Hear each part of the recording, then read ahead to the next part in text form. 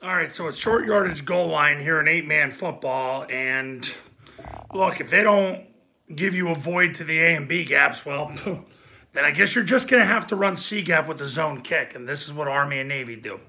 So what's going to happen here is the end is going to block down on the B gap defender. He'll get his left knee in the crotch, left forearm to the stomach, toes north. The guard's going to shuffle off that block and get vertical, and he's going to block the mic. So he's going to get his left knee through the crotch of the mic, left hand to the stomach, toes north. The center and the backside are going to full scoop it. The center is going to snap the ball and sprint his belly button to the hip of the end, the which will cancel the A gap defender. The backside guard will sprint his belly button to the hip of the center. Backside end will sprint his belly button to the hip of the backside guard. The A back's going to load, so he's going to step with his inside foot and he's going to block the mic.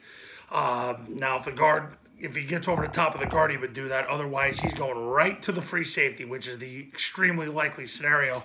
Left knee in his crotch, left hand to the stomach, toes north. The B back is going to run and block the first threat off the guard's block. He's going to kick him out with his right forearm, helmet to the left, drive him out of bounds. So you got seven blockers and a runner. The quarterback's going to take the snap. He's going to run off the guard's block, he's going to turn up and score. So you got the block in at the hole and out at the hole. So zone kick and short yardage goal line is the way to go. If you're not sure how they're aligning, go with the zone kick. If they don't give you a void, A or B got void, go with the zone kick. It's Army and Navy's go-to right now as well. Coaches, if you're looking to run the triple option offense for eight man, the Army Navy way, call me 570 332 0265 570 332 0265 and go to tripleoptionfootball.com. I'll see you in the next video. Talk then.